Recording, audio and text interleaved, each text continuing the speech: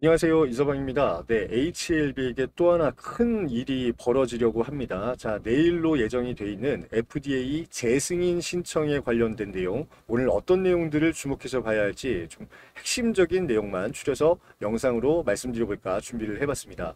주가가 유례 없이 조용하죠. 지금 뭐 완전 박스권에 갇혀 있는 상황에서 일촉즉발의 어떤 사건이 터지기 바로 전 폭풍 전야 같은 느낌이라고 저는 생각이 드는데 과연 이번 FDA 재승인 관련해서 가능성이 얼마나 되는지 그리고 여러분들께서 꼭 확인하셔야 될 만한 내용들이 뭐가 있을지에 대해서 오늘 영상을 만들었으니까 관심 있으신 분들 오늘 내용 끝까지 재미있게 시청해 주시길 바라겠습니다. 자, HLB 그룹 측에서 이제 더 바이오라는 매체와 인터뷰를 했는데 이달 20일 날, 그러니까 현지 시각 20일입니다. 엘레바 테라피틱스가 FDA에 신청하는 날짜, 그러니까 북미 기준 20일이니까 우리나라 시간으로는 내일이 될 거예요. 자, FDA의 리보세라니 병용요법 재허가 신청이 들어간다라고 확정적으로 인터뷰를 했습니다. 자, 과연 이번 재승인 신청에서 우리가 눈여겨봐야 될 부분이 뭔지 그리고 이제 승인 확률은 얼마만큼 책정이 될지 이제부터 이제 본격적인 내용으로 들어가 보도록 하겠습니다. 자 우선은 재승인 신청이 들어갈 건데 승인 절차가 이제 두 가지로 나눠진다. 제 예전 영상에서도 말씀을 드렸을 거예요. 자, 클래스 1 절차가 있고요. 클래스 2 절차가 있습니다. 클래스 1 절차는 똑같은 서류를 똑같은 승인 절차에 제출을 하는 겁니다. 그러니까 우리가 예전에 임상 결과 보셨죠? 그리고 이제 임상에서 나온 효과라든가 안정성 결과 값도 전부 다 제출을 했습니다. 자, 이거 가지고 검토해 주세요 했는데 이 승인이 지금 보류된 상황이잖아요.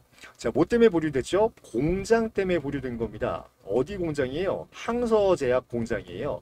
자, 항소제약 공장 문제 때문에 보류가 된 거지 임상 절차라든가 안정성 문제라든가 하여간에 약품의 효능이나 효과에 관련된 내용이 전혀 아니기 때문에 아마 이거 공장에 문제가 없다라고 판단이 되면은 똑같은 서류를 제출했을 때 간단한 서류 심사만으로 재승인 여부가 결정이 날 수 있다라는 얘기가 되는 겁니다.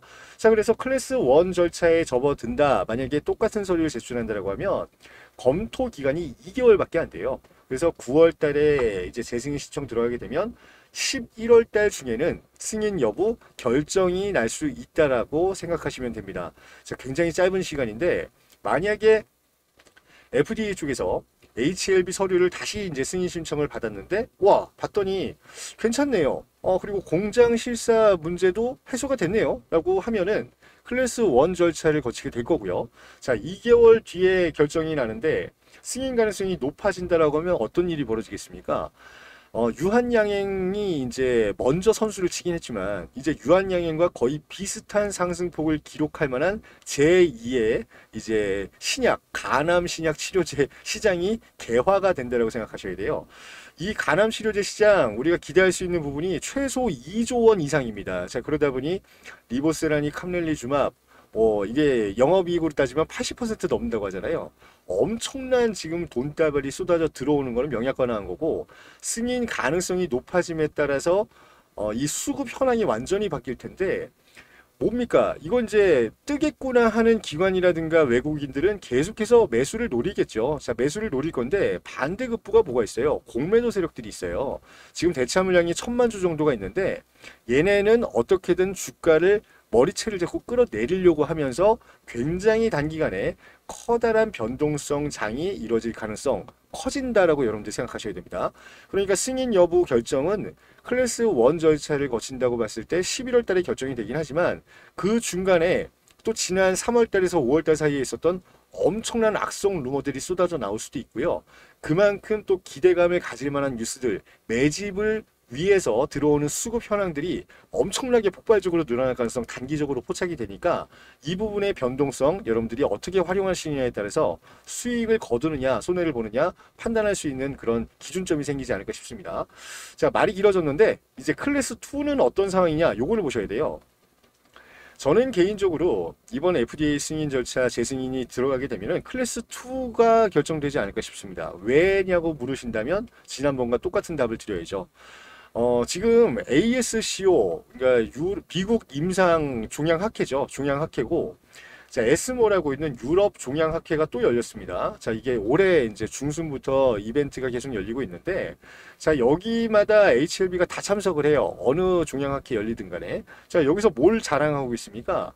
지금 기존 임상 때보다 지금 시간이 지나서 추가적으로 발견되는 임상 결과 값이 훨씬 더 지금 효과적이다라고 판단을 하는 거예요. 그러니까 OS 값도 22.8개월에서 23.9개월로 전체 생존 기간이 늘어났고 그에 관련해서 부작용은 또 일부 줄어들었다는 연구 결과, 결과가 발표되고 있고 이게 굉장히 좀 긍정적인 데이터가 추가되고 있기 때문에 이 OS 값을 갖다가 FDA 쪽에 다시 한번 인정을 받고 싶을 겁니다. 그러면 기존에 제출했던 서류랑 내용이 같다?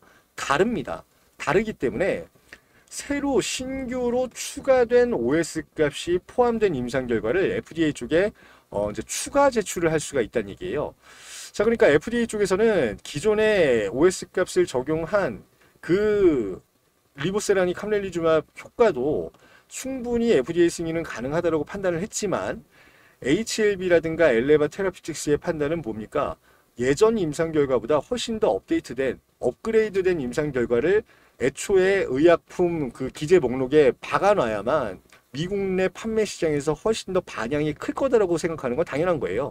자 그렇기 때문에 족족 이제 나오는 굉장히 좀 긍정적이라고 평가할 수 있는 OS 값의 임상 결과들을 FDA 쪽에 추가적으로 제출할 가능성이 높다라는 얘기가 됩니다.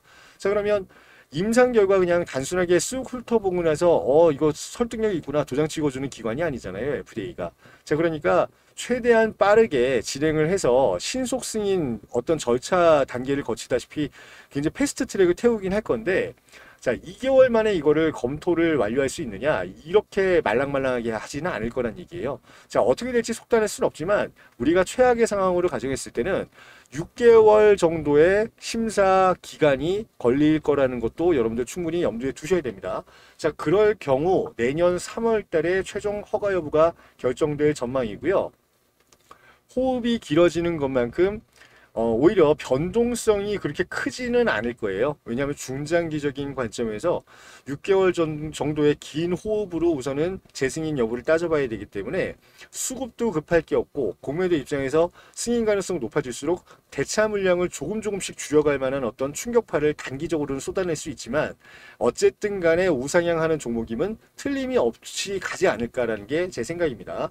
자, 클래스 2가 됐건 클래스 1이 됐건 서류 재제출을 하고 나서 이게 결정이 될 거거든요. 자, 결정이 되는 순간이 우선은 어, 주가 이제 흐름이 바뀌는 시작이다라고 여러분들 판단을 하셔야 됩니다. 자, 요 부분이 1차 변곡점으로 굉장히 중요한 포인트로 작용이 될 거다라는 거 말씀드리겠습니다. 자, 그럼 이제 두 번째 내용으로 넘어가 보도록 하겠습니다.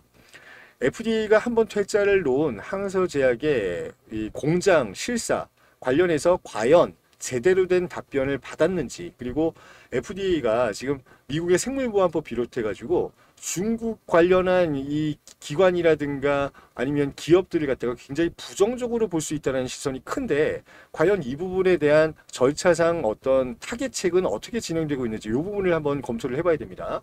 자, 혹자들이 그래요. 생물보안법 관련해서 지금 통과가 된 상황이고 이것 때문에 미국 현지에 있는 우시앱텍 비롯한 임상 기업이라든가 CMO 기업, 그러니까 그 위탁 생산 기업 같은 경우 전부 퇴출이 지금 예정돼 있는 상황이잖아요. 자, 지금 저 엘레바와 HLB가 리보세라닙을 갖다가 임상을 지금 진행을 했는데 이 임상 대행을 한 기업이 어디입니까? 항서제약이에요. 자, 그러니까 항서제약도 중국 기업이고 중국에서 방구 좀 낀다라고 하는 의약 기, 이 업체다 보니까 FDA가 항서제약을 좋아하겠습니까? 어, 저 제가 봐도 좀 부정적으로 볼 것 같아요. 제가 부정적으로 보는데 이거 임상에 딴지를 걸면서 FDA에서 다시 한번 어 이거 서류를 좀 탈락시키지 않을 않을까 이런 가능성이 있다라고 하는 일부 악의적인 어떤 의견들을 표출하는 사람들을 많이 보고 있습니다. 자 그런데 임상 결과는 언제 끝난 거예요? 생물보안법 발의 그러니까 통과 이전의 임상 결과는 적용 대상에서 제외가 됩니다. 제외가 되고요. 어, 미국 내에서 임상을 하지 마라. 그러니까 미국 내 생물보안법의 취지입니다. 미국 안쪽에서 미국 기업과의 협업을 통해서 임상을 진행하거나 혹은 미국의 어떤 특출한 기술을 갖다가 위탁 생산을 하면서 복제할 수 있는 위험성을 줄이겠다라는 게 생물보안법 취지지.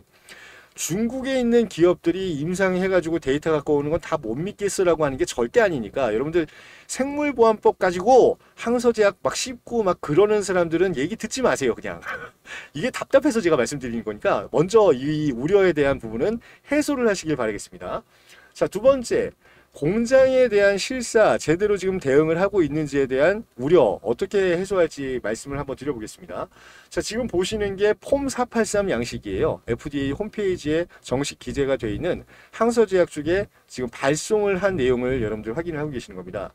자 이 내용을 간단하게 추려서 FDA 쪽에서 또 이제 전문으로 이게 실어놨어요. 번역을 통해서 봤는데 총 두 가지의 문제점이 있다라고 지적을 합니다. 그래서 첫 번째, 두 번째 어떤 문제점이 있는지 그리고 항서제약은 어떤 조치를 취해서 지금 재승인 절차를 기다리고 있는지 말씀을 드려보겠습니다. 자, FDA 쪽에서는 뭐라고 하느냐? 항서제약 쪽에 이제 이게 신공장이거든요. 새로 지은 공장에 어떤 공정, 그러니까 제조 공정에 문제가 있다라고 딴지를 건 거예요. 지금 딴지를 건 게 아니라 진짜 문제가 있었으니까 지적을 했다라고 보시는 게 맞습니다. 자, 지적사항 첫 번째입니다. 자, 품질관리 부서는 제조된 약품이 CGMP를 준수하고 있는지 뭐 약품의 동일성, 그러니까 동일하게 약품이 약효를 성분을 담아서 생산이 되고 있는지, 뭐 품질과 순도에 대한 어, 확정된 사양을 충족하는지 이런 거 자체를 이행하지 못했다라는 내용을 첫 번째로 담습니다. 이게 무슨 내용이냐면 간단하게 풀어드릴게요. 제조 과정에서 너무나 너희가 누락시키고 있는 어, 기록이 많다라는 얘기입니다. 누락시키고 있는 기록이 많대요. 이 밑에 쭉 읽어보시면 전문이 나옵니다. 자, 뭐라고 하는 거냐면 너네 어떤 의약품을 몇 개 생산을 할때 공정 단계별로 몇 단계를 거치는지에 대해서 이 공정별 데이터베이스 지금 기입이 전혀 안 돼 있다. 이 얘기를 합니다. 그러니까 엑셀 작업을 할 거 아니에요. 우리가 엑셀 작업할 때 뭐 예를 들어서 오늘 9월 20일이니까 9월 20일 날 어, 리보세란이 만약에 알약 제조 단계에서 분말을 몇 그램 생산한다. 뭐 몇 그램 생산한다. 뭐 이렇게 생산한다라고 이 공정의 몇 시 몇 분부터 몇 시 몇 분까지 기재가 돼 있어야 되는데 이 중국 이 제가 그러는 건 아니지만 이 중국 사람들 태생이 그런가 봐요. 이런 거 절차 같은 거는 무시하고 아예 기재 누락이 돼 있었다라는 얘기입니다. 그래서 엑셀 파일 확인을 해봤더니 파일도 막 복제된 파일도 있고 가라로 막 적혀 있는 파일도 있고 원본 파일 같은 게 오류가 생겨가지고 그거 확인하려고 그러니까 그걸 갖다가 막 창고 한 구석에 처박아 놓고 막 은폐하려는 시도도 보이고 막 이랬대요. 그래서 이 생산 시설이 대체 어느 정도 시간에 무슨 의약품을 생산하고 있는지에 대해서 자료가 부족하기 때문에 이걸 지적했다라는 내용이 기재가 되어 있습니다. 그러니까 이거는 뭐냐? 공정에 대한 내용, 그러니까 이 시설에 대한 지적을 한 게 아니라요. 이 인력에 대한 어떤 교육 내용에 대한 지적이라고 보셔야 될 것 같아요. 자, 그래서 너네 일하고 있는 사람들이 QA 발급도 없이 그러니까 생산 품질 보증하는 단계입니다. 자, QA 자격도 없는 사람이 와가지고 이 최종 이 검수를 하고 있더란 얘기예요. 자, 이 사람의 정체도 누군지 모르겠고 하루는 왕 씨가 있다가 하루는 뭐 정 씨가 있다가 하루는 장 씨가 있다가 자기네들이 매일마다 봤는데도 이 시설을 담당하고 있는 인력들의 정체도 모르겠고 시설이 어떻게 돌아가고 있는지에 대한 서류상 어떤 증빙 자료도 없고 자 이렇기 때문에 못 믿겠다라는 측면에서 우선 지적사항을 발송했다라는 내용이 첫 번째다라고 생각하시면 됩니다.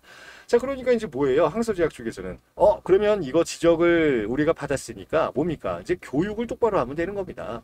자, 교육 똑바로 하고 정해진 시간 내에 어떤 의약품이 얼마만큼 생산이 됐고 이 공정에서 정해진 시간 내에 어떤 공정을 이행을 했는지 이 부분에 대한 엑셀 파일의 정확한 기재가 이제 필요하다. 요거를 인지했다라고 이제 발송문에 적어놨다라고 보시면 될 것 같아요.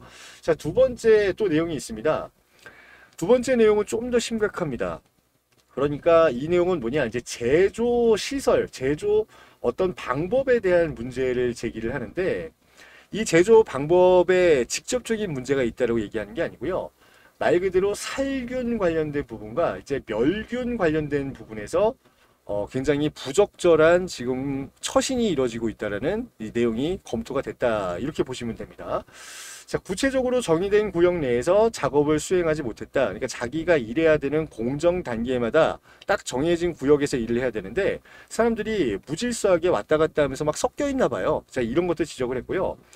무서운 게 이거죠. 무균 처리 구역 안쪽인데 방진복이라든가 뭐 무균, 살균 처리를 하나도 하지 않은 사람들이 이런 무균실 내를 활보하면서 혼합물을 갖다가 해당 약품에 섞을 가능성이 포착이 됐다라고 지적을 해요. 자, 그러니까 이제 제대로 된 살균을 하지 않은 사람들, 이것도 이제 결과적으로 뭡니까? 직원에 관련된 문제입니다. 살균하지 않은 사람들이 무균실 내에 들어와서 이 혼합물, 오염물, 혼합물을 갖다가 해당 의약품에 침투시킬 우려가 있다라고 하는 지적사항이 두 번째입니다. 자, 그래서 이거에 관련해서 이제 얼마 전에, 얼마 전이 아니라 한 3개월, 4개월 됐겠죠.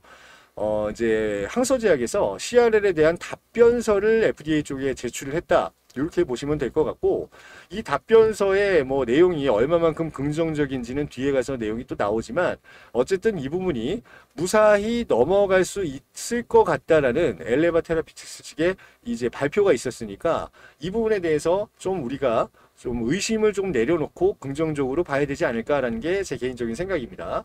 자, 이런 의심을 내려놔야 된다 이런 의견을 뒷받침할 만한 내용이 또 있습니다. 자, 항서제약은 저기 지금 현재 FDA 쪽에 승인받은 그 의약품이 12개나 있습니다. 12개가 있어요. 자, 그래서 현재도 지금 중국 내에서 제조해서 미국 쪽에 수출하고 있는 상황이고요. 자, 여기에서 발생하고 있는 매출이 1년, 2023년 기준으로 1240만 달러 정도라고 합니다. 자, 그러니까 항서제약이 FDA 승인을 받은 그 절차상의 문제가 처음이 아니라는 얘기가 되는 거고요. FDA 쪽에서도 이때 처음으로 승인 절차를 밟을 때 뭐라고 했을까요? 똑같은 얘기 또 했습니다. 그러니까 인력 인력 관리에 문제가 있다. 그리고 이 공정의 데이터의 누락이 누락이 너무 많다. 데이터 누락이 너무 많다. 자, 그래서 이 CRL 발송을 받은 게 한솔제약 입장에서는 첫 번째가 아니다라는 얘기가 이 기사에서 나오는 상황이고 이거에 대해서 항서제약이 굉장히 발빠르게 조치를 하면서 FDA가 만족할 만한 답변서를 제출했다라고 하는 엘레바 측의 공식적인 의견이 나왔다라고 생각하시면 됩니다. 자, 그럴 수밖에 없는 이유 뭐에 있을까요? 캄렐리 주맙에 있습니다. 자, 캄렐리 주맙은 어, 지금 글로벌 판권은 누가 갖고 있습니까? 지금 HLB가 갖고 있어요. HLB가. 근데 글로벌 판권을 가져갔다라고 해서 이 판매에 대한 보상을 안 해주는 거는 아니죠.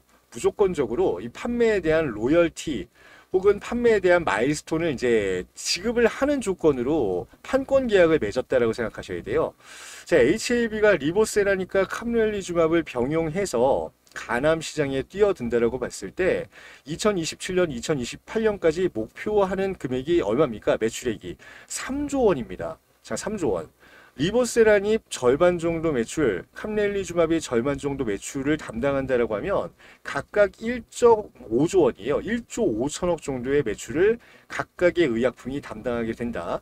자, 1조 5천억에 대해서 로열티 지불 조건으로 판권 계약을 했다라고 하면은 지금 유추하는 바에 따르면 얼마 정도 예상이 되냐? 매출액의 30% 정도가 로열티로 책정되지 않았을까라는 게 이제 의학계의 입장이라고 보시면 돼요. 자, 그러면 1조 5천억 원에 30%면 여기에서 발생될 수 있는 2028년 기대 로열티가 얼마입니까? 5천억입니다. 5천억 무려. 자, 12개 제네릭 의약품을 미국에 수출하면서 벌어들이는 돈이 2023년 기준이긴 하지만 1240만 달러예요. 1240만 달러. 그러면 이게 우리나라 돈으로 환산을 하면은 140억 정도 돼요. 자, 그런데 캄렐리 주맙이 FDA 승인을 받아서 가남 시장을 만약에 접수할 수 있다라고 하면은 HLB 쪽에서 좀 긍정적인 로열티로 책정을 했을 때 받을 수 있는 최대 보수가 5천억 원이 됩니다. 그러면 여러분들 같은 경우는 제네릭 의약품을 12개, 13개, 20개를 파시겠어요? 아니면 캄렐리 주맙을 하나를 파시겠어요? 그러니까 이거는 따질 것도 없다는 얘기예요. 자, HLB 쪽에 판권을 넘긴 캄릴리 주마브로 벌어들일 수 있는 로열티 자체가 지금 FDA 승인받아서 수출하고 있는 제네릭 의약품의 거의 20배, 30배 이상의 매출을 상회할 거기 때문에 FDA 승인은 HLB 쪽도 급하지만 더 급한 쪽은 어딜까요? 항서제약 쪽도 그 못지않게 지금 똥줄이 타는 입장이라는 얘기입니다. 자, 그러니까 무조건 이게 시설에 관련된 문제가 아니라고 말씀드렸어요. 그러니까 시설 관련된 문제가 아니라 말 그대로 공정 단계, 그러니까 단계별로 인력 관리에 관련한 문제라고 말씀드렸습니다. 자, 인력 관리 어떻게 할 것 같으세요? 굉장히 빡세게 이제 돌린다는 얘기예요. 그러니까 중국 내에 그 어슬렁거리고 그 중국 특유의 그 게으른 사람들 뭐 설렁설렁 시간만 때우고 가는 그런 공정으로는 FDA 승인을 얻을 수 없다는 거 분명히 인지하고 있기 때문에 굉장히 체계적인 인력 관리랑 어, 굉장히 체계적인 이제 데이터베이스 기입을 통해서 FDA의 일말의 의심도 사지 않을 정도의 준비를 하지 않을까 이렇게 예측해 볼 수가 있을 것 같습니다. 자 보시면 이거가 이제 엘레바 테라피틱스 쪽에서 나온 어, 공식 전문이에요. 자 보시면은 FDA와의 이제 타입 A 미팅 결과를 이제 얘기를 여기서 이제 공식적으로 얘기를 합니다. 자, FDA와의 논의에서 가장 중요한 결과 그게 뭐냐? 항서제약 제조 시설에서 추가 시정 조치 없이 그쵸? 추가 시정 조치가 없었다는 얘기입니다. 자, 엘레바 테레피틱스의 NDA 재제출이 가능해졌다라는 게 첫 번째 수학이다라고 얘기를 합니다. 자, 그러니까 이는 뭐예요? 항서제약 쪽에서 FDA가 만족할 만한 답변서를 제출을 했고 NDA 관련해서 실사를 또 나갈지 안 나갈지는 FDA 쪽에서 결정할 문제지만 어쨌든 1차 서류상의 답변상에는 전혀 우려될 만한 바가 없다라는 어, 언지를 들었다라는 얘기가 되는 겁니다. 자, 그러니까 긍정적이다라고 평가가 나온 거고 FDA 쪽에서 어 항소제약 쪽이 이렇게 준비 잘해왔네. 우리가 지적하는 사항이 뭔지 정확하게 알고 있구나. 자 그러면 너네 이제 약품에 대해서는 걱정할 것도 없고 그 다음에 공장에 관련해서도 걱정할 거 없다라고 우리 생각되니까 자 빨리 서류 재신청하세요 라고 오히려 권고했다는 얘기가 이것 때문에 나왔다 생각하시면 됩니다. 자, 두 번째는 또 뭐가 있느냐? 이것도 그때 FDA 이제 승인 보류됐을 때 굉장히 이슈거리가 됐거든요. BIMO입니다. 어, bio specter, 아, 저 뭐죠? bioresearch monitoring, 그러니까 bioresearch monitoring을 BIMO라고 하는데 이게 뭐냐면 임상 시설에 대한 어떤 실사예요. 자, 임상 시설에 대한 실사가 우선은 몇 개국에 나눠져서 지금 진행이 됐는데 말 그대로 서양인 그러니까 백인에 대한 임상 결과값을 얻어내기 위해서는 우크라이나 병원에 어, 직접 임상을 우리가 체크를 해봤어야 된다 이 얘기했었죠.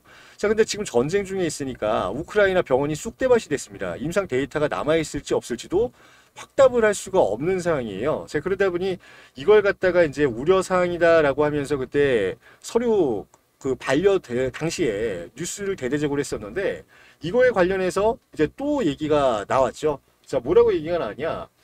우선은 비모 관련해서 그러니까 비모 관련해서는 얘기하지 마라. 그냥 얘기할 필요가 없다라고 합니다.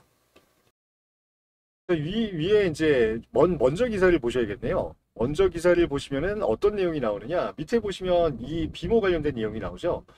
어, 밑에 보시면은 여기 있습니다. 비모 관련해서 이슈가 될 수 있는지 불안하니까 이제 정세호 대표 입장에서 불안할 거 아니에요. FDA 쪽에다가 문의를 했더니 야 그것 때문에 CRL을 발송한 게 아니고 말 그대로 항서제약의 신규 공장 그 인력 관리 문제가 우려가 되기 때문에 CRL을 발송한 거다. 자, 더 이상 언급할 필요가 없다라는 답변을 받았답니다. 그러니까 어, 비모 인스펙션 같은 경우는 우리가 시간이 되고 혹시나 우크라이나 러시아 상황이 안정이 된다라고 판단이 됐을 때 심사 기간 그러니까 재제출해 빨리 서류 심사 기간 안쪽에 우리가 어, 시간이 만약에 어, 가능한 시점이 된다라고 판단이 되면은 그때 심사 기간 중에 이 실사를 나갈 예정이니까 이거에 대해서는 너희가 신경 쓸 필요가 없다라고 얘기했다는 거예요. 자 그러니까 이렇게 따져봤을 때는 FDA 쪽에서 우선은 항서제약 쪽에 그쪽에서 답변서를 받았을 때 굉장히 긍정적으로 검토했다라는 내용으로 우리가 파악할 수가 있는 거고 두 번째는 임상 데이터 관련해서 우크라이나 쪽 임상 어떤 결과값을 꼭 필요로 하는 것이냐 이것까지도 그렇게 우려할 바가 아니다라는 어떤 그 대답을 지금 정세호 대표 측하고 황소제약 측이 듣지 않았을까 이렇게 유추해 볼 수가 있다라고 말씀드릴 수 있을 것 같습니다. 자 그리고 이제 이번에 주목해 봐야 될 건 뭐냐 우선은 향후에 그러니까 FDA 승인과 별개로 HLB와 그다음에 캄렐리주맙을 보유하고 있는 항서제약 쪽 또 HLB와 또 다른 제약사와의 접점은 또 어디에서 생길 만한 재료가 있을지에 대한 내용 또 추가적으로 포착이 된 게 굉장히 많이 있거든요. 자, 그 부분에서 추가적으로 우리가 터질 만한 재료들이 뭐가 있는지 한번 들여다봐야 될 것 같아가지고 이 이번에 에스모 2024라든가 ASCO에서 발표된 이 HLB 쪽 어, 아파티닙이라고 하죠. 리보세라닙 물질에 관련된 임상 데이터들을 제가 좀 모아봤습니다. 자, 모아봤는데 굉장히 많습니다. 이 FDA 쪽에서 지금 승인을 하겠다라고 하는 거는 지금 간암이잖아요. 간암 관련된 어떤 1차 치료제로서의 가능성을 보고 요거를 따져본다는 얘기인데 지금 HLB는 간암에는 FDA 승인을 지금 신청하겠지만 나머지 리보세라립을 이용한 병용요법은 추가 적응증에 어디 어디에 쓸지를 확장해 가지고 임상에 들어가고 있다라는 거 여러분들 파악을 하셔야 됩니다. 자, 근데 여기서 되게 재밌는 내용들이 몇 개가 포착이 돼요. 이 보시면은 상당히 많은 내용인데 제가 하나하나씩 다 읊어드리면 시간이 걸리니까 간단하게 정리를 해드리도록 하겠습니다. 자, 우선은 항서제약 쪽에 새로운 물질이 있습니다. 이제 플루조파립이라는 게 있어요. 플루조파립. 자, 항서제약의 플루조파립과 HLB의 리보세라닙, 리보세라닙을 병용하면서 이제 당장 어, 가시적인 성과를 낼 수가 있다라고 하는 게 유방암입니다. 리보세라닙이고요. 자, 이걸 갖다가 뭐를 지금 target으로 하느냐? HER2 유전자라고 들어보셨죠? 여러분들 이제 N허투라는 ADC 관련된 의약품이 유방암 치료제로서는 전 세계 1등인데 여기에 대항할 만한 어, 지금 병용요법을 갖다가 항서제약 쪽에 임상이 지금 들어가 있는 상황입니다. 자, 플루조파립하고 리보세라닙을 허투 유전자, 그러니까 유방암 관련 환자들한테 병용 투여를 해봤더니 굉장히 긍정적인 OS 값과 그 다음에 무진행 생존 기간까지 포착이 되더라. 이 이제 대조군과의 비교해서 월등한 값이 이제 임상 이상에서 포착이 되다 보니까 임상 3상 다음 단계의 진입을 빨리 서둘러야 된다라는 항소제약 쪽의 입장이 발표가 됐습니다. 자, 그래서 HR2, 그러니까 허투 유방암 치료 임상 3상이 이제 곧 시작이 될 예정이고, 이거 뭐 판매 권한은 어디서부터 시작되겠어요? 당연히 이제 중국 시장부터 이 판매가 본격화될 걸로 보이는데 중국 시장 내에 리보세라니 판권은 안타깝게도 항서제약이 보유하고 있기 때문에 판매와 관련된 로열티 일부가 HLB 쪽에 들어올 가능성 그리고 이 관련돼서 어떤 추가적인 마일스톤 유익 가능성도 충분히 점쳐볼 수 있을 만한 긍정적인 내용이 우선 에스모에서 발표가 됐다고 이해를 하시면 될 것 같습니다. 자, 두 번째가 더 재밌어요. 아파티닙이라는 이제 리보세라닙의 다른 이름이죠. 자, 다른 이름과 또 이제 병용요법을 지금 진행을 하고 있는 다른 또그 의약품이 있습니다. 자, 여기 보시면은 어, 여기서 뭐 발견이 가능한지 모르겠는데 제가 그냥 간단하게 말씀드릴게요. 우리가 흔히 얘기하는 이제 옵디보라고 들어보셨죠? 옵디보와 이제 우리가 얘기하는 게 이제 여보이라고 하는 어, 두 가지 의약품을 병용해서 썼을 때 간암 1차 치료제 전체 생존율 가격이 값이 어 이제 리보세라니 캄렐리주밤을 능가하고 있다, 능가할 수 있다라는 이제 연구 결과가 나오면서 리보세라니 가치를 깎아내리려고 하는 언론사들 상당히 많이 이 개고품 물듯이 뉴스를 내보낸 적이 있었어요. 자, 이 여보이 말고 이 옵디보라는 이 성분명 니볼루맙이라는 어, 의약품과 리보세라니 병용요법을 지금 임상 중에 있습니다. 그러니까 옵디보는 어디 걸까요? BMS, 그러니까 Bristol Myers Squibb이라는 미국에서 굉장히 거대한 big pharma 중에 하나인데 여기에서 만든 옵디보와 리보세라닙 경구용 알약, 그러니까 어, 옵디보는 이제 정맥 주사니까 이거를 병용해서 뭐를 지금 추진하고 있느냐? 전이성 암 환자, 전이성 고형암 환자에 대해서 이제 1차 치료제 가능성이 얼마나 되는지 연구 결과를 발표를 합니다. 했습니다. 자, 임상 일상에 불과하긴 하지만 우선은 특이할 만한 부작용은 발견되지가 않았고요. 정확한 투약 어떤 용법, 용량 같은 거를 추적해낼 수 있었다라는 결과가 이제 발표가 됐습니다. 자, 그리고 고형암 관련해서 우수한 억제 효과가 우선은 임상 일상 중에 관측이 됐고 이 임상 일상 대상 환자는 누구냐? 말 그대로 이제 암 거의 중기 혹은 말기 환자들을 대상으로 하기 때문에 이 고형암의 진행 속도가 굉장히 좀 빠른 축의 환자들이 이제 소수 대상으로 임상이 이제 진행이 되는 걸로 알고 있어요. 자, 그럼에도 불구하고 고형암의 어떤 증식 억제 효과가 확연히 이제 드러났고 관련해서 부작용이 굉장히 떨어지는 게 포착이 됐으니까 당연히 뭡니까? 이 다음에 BMS 그러니까 Bristol Myers Squibb의 옵디보와 병용요법의 임상 2상 내용이 이제 조만간 터질 예정입니다. 자, 이거 관련해서 이제 HLB 쪽이 뭐라고 했느냐? 보스턴에 지사를 현지 지사를 이제 설립을 했잖아요. 그 인근에 이름만 대면 알 법한 모든 big pharma들 본사들이 다 모여 있는데 그 중에서 어떤 기업과 협업을 할 건지 굉장히 궁금하다. 제가 지난 영상에서 말씀을 드렸었거든요. 자, 그 중에서 이제 한 군데 후보군으로 줄여진 데가 Bristol Myers Squibb이 아닐까 싶고 옵디보와의 병용요법이 만약에 고형암의 억제라든가 부작용을 최소화하는 임상 결과값으로 치환이 될 수 있다고 하면 이것과 관련한 적응증 확대와 더불어서 굉장히 또 우리가 깜짝 놀랄 만한 콜라보가 이뤄지지 않을까. 요 내용도 여러분들 꼭 주목해서 지금부터 지켜보셔야 되지 않을까 싶습니다.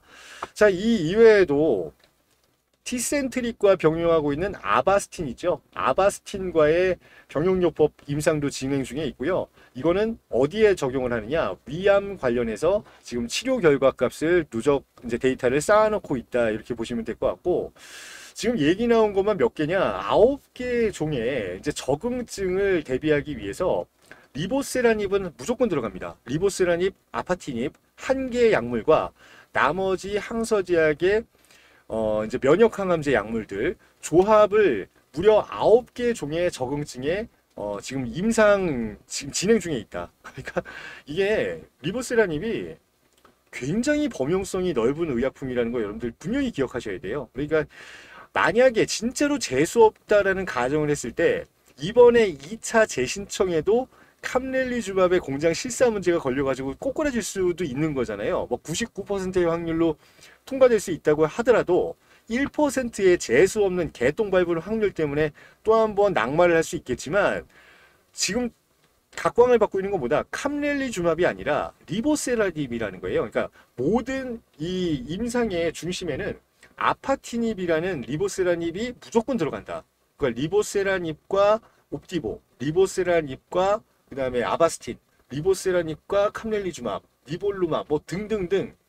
리보세라닙 경구용 알약이 표적 항암제로서 얼마만큼 중요한 취급을 받고 있는지 여러분들이 임상 데이터 같은 거를 쭉 확인해 보시면 대번에 아실 수 있다. 이렇게 보셔야 되고 FDA 승인을 병용요법 캄렐리주맙과의 병용요법으로 만약에 진행을 못한다라고 봤을 때는 리보세라닙 단독으로 또 어떤 기업과 글로벌 big pharma와 병용요법 단계를 거쳐가지고 상용화를 시킬 수 있을지 그 부분에 대한 가능성 충분히 타진할 만한 내용이 곳곳에서 포착되고 있다는 거 꼭 기억하시길 바라겠습니다.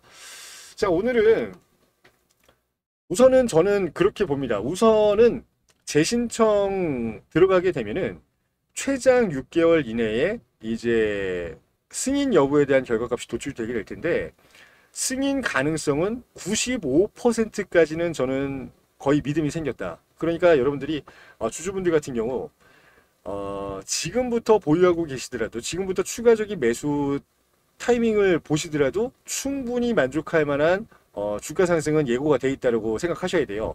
그러면 문제는 뭐냐?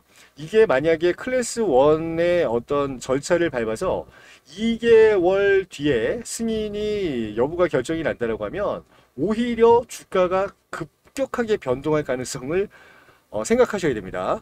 공매도와 이 매수를 하고자 하는 세력들의 이제 본격적인 전쟁이 시작되는 게 클래스 1 단계에서 일어날 가능성이 상당히 높거든요. 자, 이럴 경우 단기적으로 급등과 급락을 반복할 만한 찌라시 혹은 언론사들의 뉴스들이 매일마다 뭐 냉탕과 온탕을 갈아타듯이 바뀌어서 나올 수가 있다라는 거. 그래서 주가를 끌어내리고자 하는 공매도와 주가를 어떻게든 끌어올리고 우리가 매집을 하고자 하는 기관 및 외국인들의 수급이 매일마다 왔다 갔다 하면서 어, 바뀔 수가 있다는 거. 좀 혼란스러울 수 있다는 거 기억을 하셔야 될 것 같고요. 클래스 2 지정을 받아서 6개월 뒤에 승인 여부가 결정이 된다라고 하면은 저는 평화롭게 이걸 지켜보셔야 된다라고 생각을 해요. 6개월 뒤다라고 하면 이미 공매도 그러니까 대차 물량을 빌린 기관이라든가 어떤 공매도 주체들에 대해 준비할 수 있는 시간이 굉장히 넉넉합니다. 준비 시간 자체가 넉넉하다라고 판단이 될 거고 그 다음에 주가가 일정 부분 오르기 전에 매도 물량을 청산하고 오히려 covering이 들어오면서 주가가 완만하게 우상향할 만한 굉장히 평화로운 차트를 그릴 만한 그런 핑계거리가 또 나오는 게 오히려 6개월 뒤에 승인이 되는 클래스 2 단기라고 저는 생각을 하거든요. 그러니까 여러분들이 승인 신청은 내일 들어가지만 결과적으로 클래스 1이냐 2냐에 따라서 주가가 급하게 변동하는지 아니면 여유롭게 완만한 곡선으로 우상향을 할 건지 이 부분에 대한 대처를 각자 좀 공부를 하시면서 해보시길 바란다 말씀을 드리겠습니다. 자, 그래도 HLB 관련해서 숨어있는 내용, 제가 오늘 말씀드렸던 내용 이외에 어떤 시기에 얼마만큼의 평단가를 작정을 하고 책정을 하고 매수를 들어가야 될지 그리고 단기적으로 또 급등할 만한 재료들이 뭐가 있는지 매수 매도 전략을 좀 구체적으로 알고 싶다 하시는 분들을 위해서 HLB 대응 전략을 하나 마련을 해놨습니다. 자, HLB가 다시 한번 말씀드리지만 변수가 굉장히 많습니다. 변수가 굉장히 많고요. 이게 또 항서제약 쪽의 문제까지 지금 덮어 씌워져 있는 상황이기 때문에 변수가 뭐 항서 제약의 공장 실사 관련된 추가적인 문제가 될 수 있고 두 번째는 이제 뭐 클래스 1이냐 2냐 이 문제가 될 수도 있고 자 세 번째는 또 뭡니까? 승인 여부에 대해서 그렇죠? 어떤 부분에서 우리가 우려할 만한 상황이 또 튀어나올지 결과적으로 6개월 뒤에 승인이 될지 안 될지에 따라서 또 주가가 어떻게 움직일지 굉장히 다양한 케이스의 어떤 파생되는 예측치가 지금 존재를 한단 말이에요. 자, 그럴 경우 각각의 케이스별로 주가가 고점을 찍는 시점, 그 다음에 주가가 빠져나올 때도 어느 타이밍까지 일시적으로 빠지는지에 대한 단기 수급 현황까지 제가 모든 증권사 리포트 비롯해서 그 해외 어떤 수급 현황까지 다 정리해 놓은 자료를 마련해 놨으니까 관심 있으신 분들 어, 이 대응 전략 많이 많이 받아가셔서 무료입니다. 많이 많이 받아가셔서 꼭 성공 투자하는데 좋은 밑거름으로 삼아가시길 바라겠습니다. 자 종목 추천 받고 싶으신 분들 혹은 대응 전략 요거 받아가시고 싶으신 분들 문자 보내주시면 되고요. 위에 전화번호 써있죠. 81203321번으로 문자 HLB니까 뭐라고 보내주시면 되느냐 A라고 보내주시는 분들한테 이 대응 전략 제가 무료로 전송해 드리도록 하겠습니다.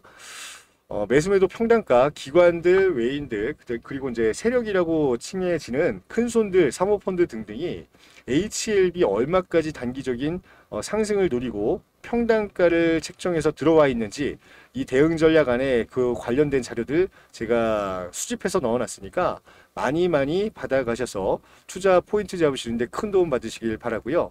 어, 요거 받아가시는 대신에 무료니까 저희한테 해주셔야 될 건 뭐다? 구독과 좋아요 알림 설정 오늘 영상 좋았다고 하면 꼭 한 번씩 눌러주시기를 바라고 오늘 영상 이만 인사드리도록 하겠습니다.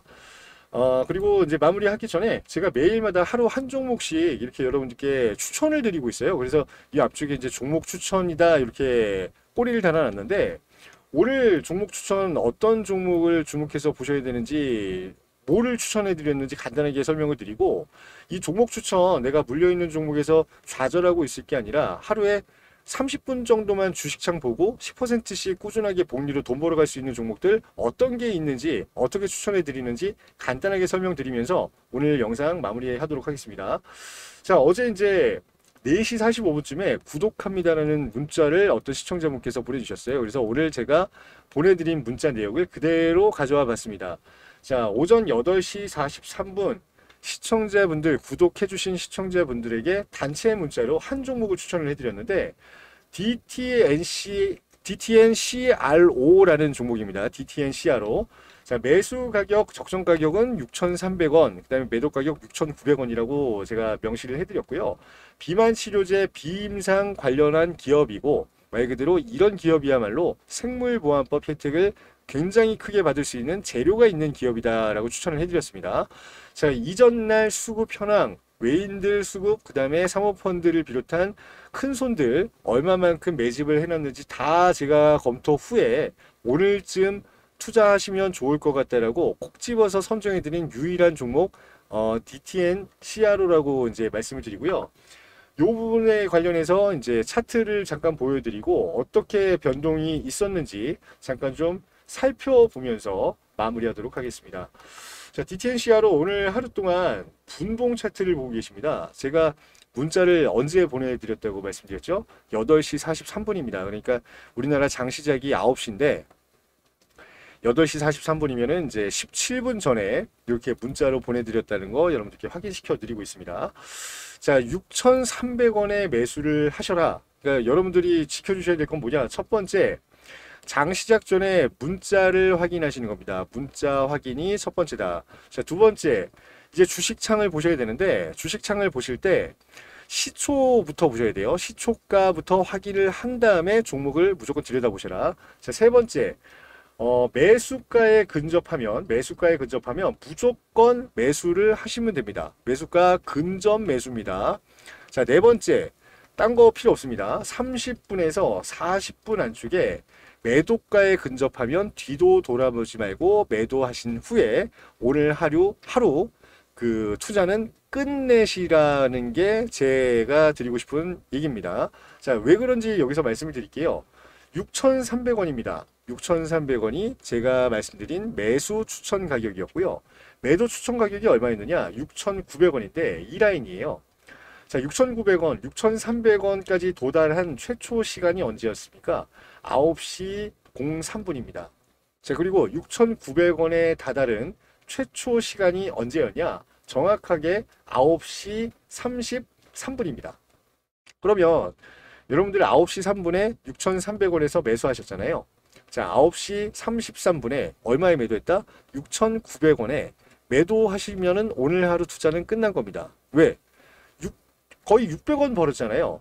우리가 이 주당. 그러면 6,300원에 사가지고 600원 벌었으면 거의 얼마만큼 번 겁니까? 9에서 10% 안쪽에 수익을 보신 거예요. 자, 그 이후에 요걸 하루 종일 지켜보고 있었다. 헛짓거리입니다. 왜 그런지 보여드릴까요?